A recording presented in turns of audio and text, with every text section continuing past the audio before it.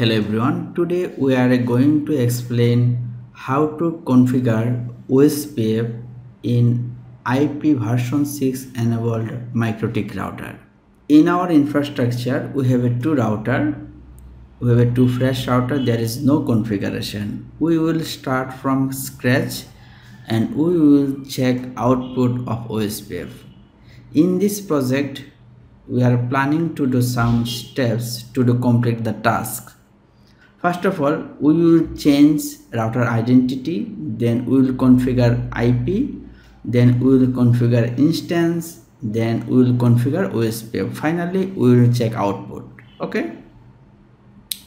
So we are trying to connect on router.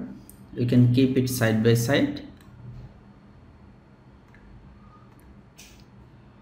Yes, this is on router uh, there is no password.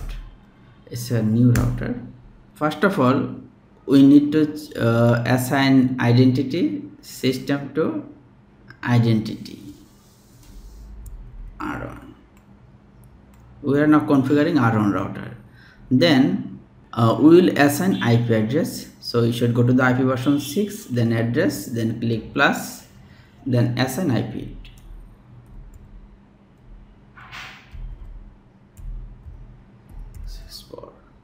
the interface will be ethernet 2 apply okay.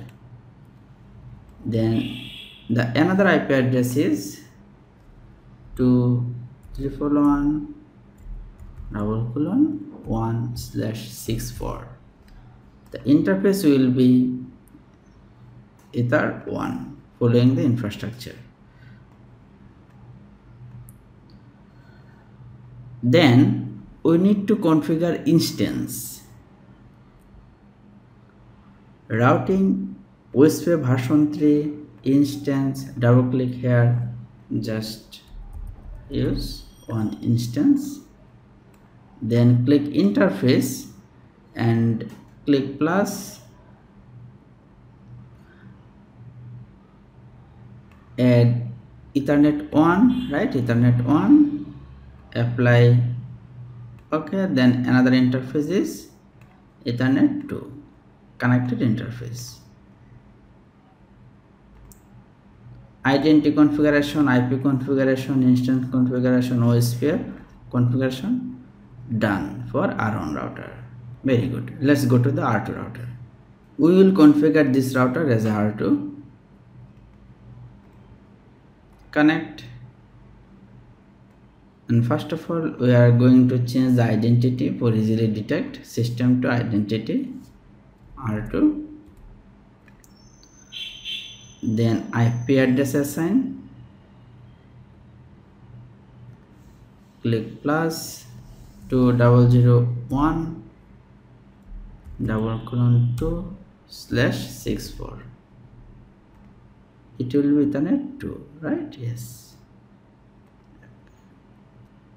click plus triple two double colon 1 slash 64 interface will be ethernet 1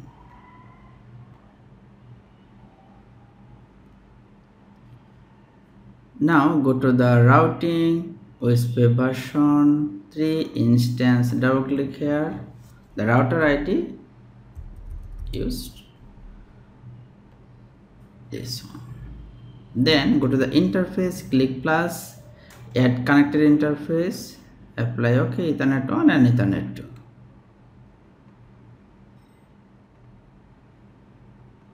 apply okay our OSPF is running or not? How to check it? Uh, version 6 to routes.